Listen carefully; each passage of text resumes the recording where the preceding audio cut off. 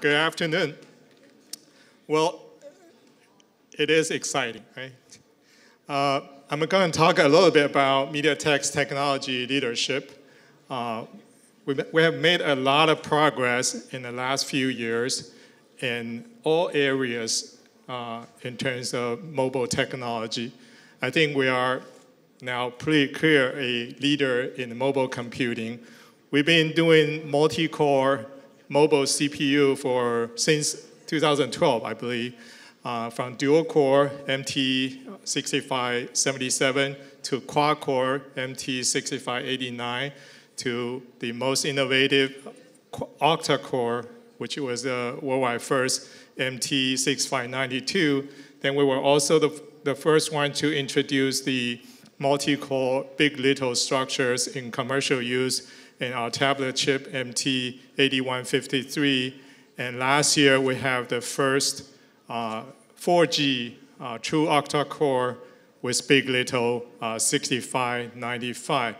We've been doing this for a long time, and all these multi-core chips uh, were managed by the Core Pilot technology that we invented and uh, it actually allowed us to achieve the best performance and power efficiency at the same time. So you probably didn't hear any MediaTek multi-core chip have an overheating problem that some other people may have.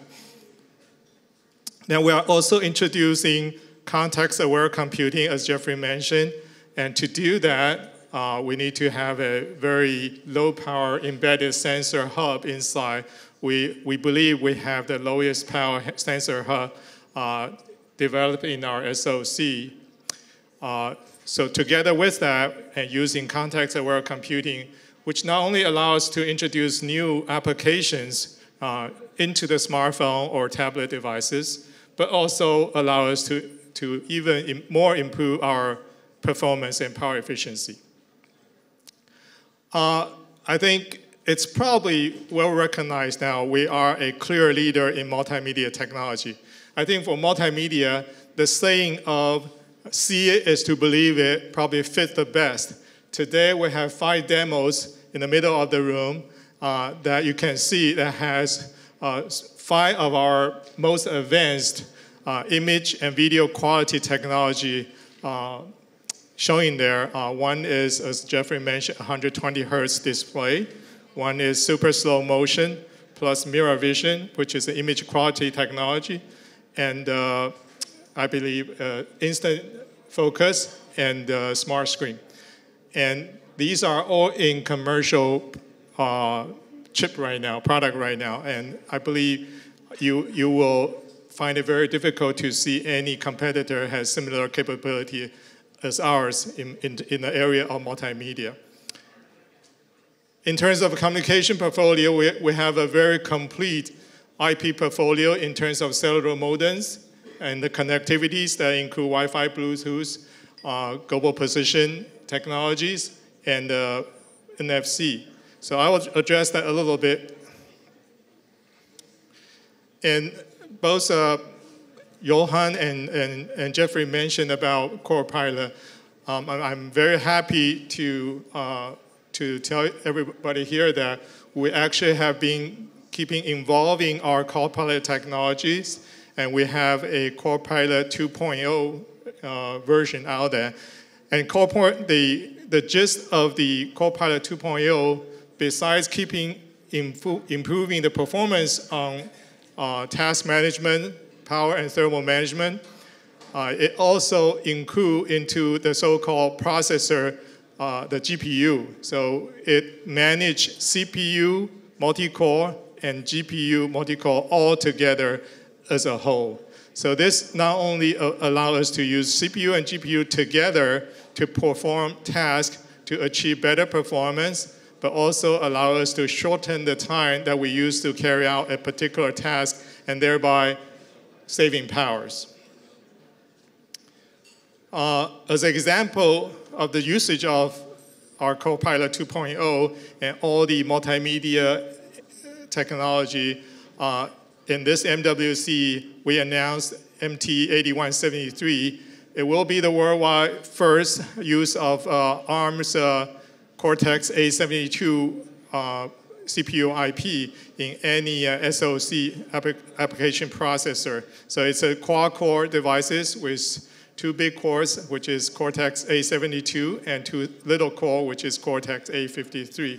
It has all the 4K by 2K video uh, capability, plus a lot of our MiraVision and technology, multimedia technology that I, that I mentioned earlier. And here is a device with 8173 inside. So it's being sampled now. So you will see it being commercialized probably in the, in the latter part of this year. So it's not just an announcement, it's actually here. Thank you.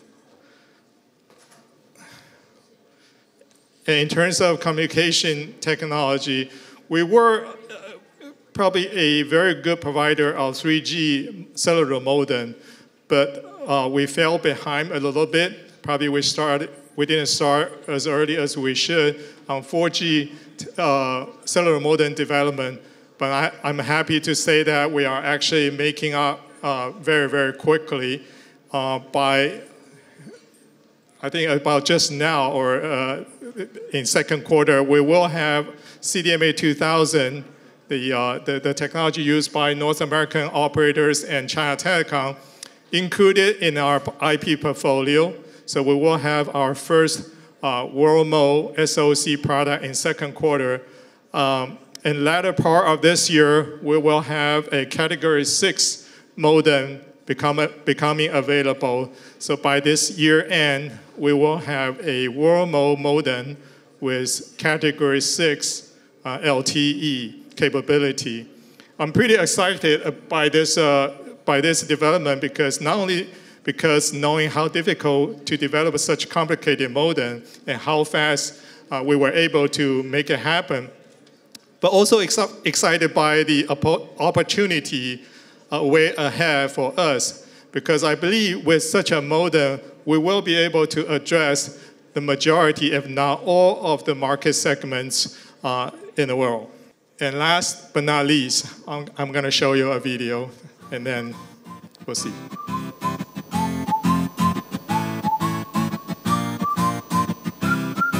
Crossmount by MediaTek changes the way your smart devices work together. Crossmount is more than just sharing content, more than just streaming. It is a breakthrough in seamless hardware and software sharing.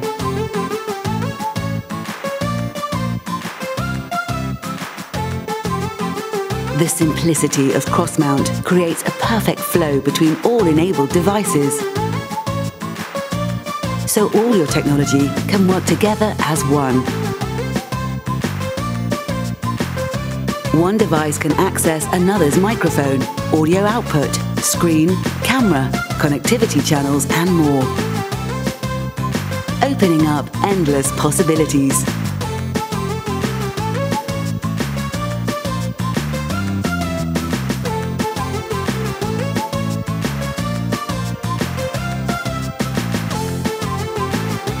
Crossmount by MediaTek is a new standard for device interaction. Unite your devices, open up new possibilities.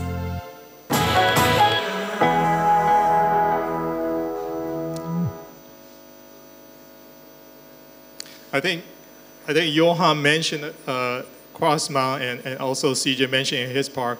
You probably uh, wonder uh, what it is, you know, how it works. And I got the task to explain to you in the next five minutes. Uh, in a nutshell is we use, we tend, we want to use multiple devices together with their function, pull together and to become a more capable device. Okay, this may sound a little bit abstract, but I will give you an example. And this way allows all the uh, devices that you own be used together with all the so software and hardware resources pulling together. And uh, let me give you an example a lot of you might be thinking, well, this is yet another DLNA kind of a solution that people already have out there, but it is not. It's, it's, it does whatever DLNA can do, but a lot more, okay? I think the best uh, uh, explanation can be done by giving you a, example. So, for example, if you in the current standard, what you can do is you can share media content between devices. For example, you're playing movie on your phone, and you can move move that content and have it shown on the on the TV. Or you can have your your when you are at home, you can have your uh, doing a video conference call. You can have the video portion showing on the TV okay, and that, that the TV show whatever incoming notifications for either call or uh, text messages. That is be within people's imagination today. But cross-mount is far beyond that, okay? Imagine another case is, for example, you can use your uh, phone as a as your TV's headset. Say you wanted to be quiet if your kids are in sleep while you want to watch some TV and you want to mute the TV therefore. And nowadays there are, there are headsets, wireless headsets you can purchase uh, to transmit the audio signal to a wireless headset. Crossmount allows you perform the same function. You move the audio channel to the, uh, to the handsets, and then you plug in your earbuds, and you can listen. Right? Or you can do uh, multiple phones connected to a TV, and you can use that as a karaoke machine if you, if you are interested in doing that. These are still belonging to the multimedia type of application, which may, you may not grab the, uh, the, grasp the idea very clearly. An even more powerful usage of it, or even better exemption, is in the communications. Think of a if you are in a in an area where, where the cell phone coverage is not very good, for example, in this basement. So on average, perhaps the receiving error rate, packet error rate, say it's about 10% on each of us, our phones or on each link. However, if you can pull two, put two phones together, okay, for example, I borrow another person's modem in his phone, then he is getting 10% error rate and I am getting 10% error rate. But if we jointly pull our content together just by selecting the better outcome of the modem, we get a 1% error rate. So the link quality improved dramatically. And for 10% error rate, you cannot sustain a voice call, but for 1%, it's the typical error rate that a voice or video conference call uh, can last. So hopefully you can get an idea of, you know, we can pull all these devices that you own or you are willing to work with and make it powerful uh, devices and then enable more applications. And, another way to look at it is uh, this way you, you know, if you have your camera in your phone or you just have a standalone camera, then you probably don't need to build in another camera in your TV or other devices. So uh, this avoid duplications, and uh, you know, we, we, we want the world to be more green, and I think this give, will give us a, a, greener future as well. So that sound should be very exciting, and I, I, I'm sure this is probably not very easy concept to, to grasp in a short time, but I think this is one of the very exciting uh, technology advancement that, that we made in the, in the last year. Thank you.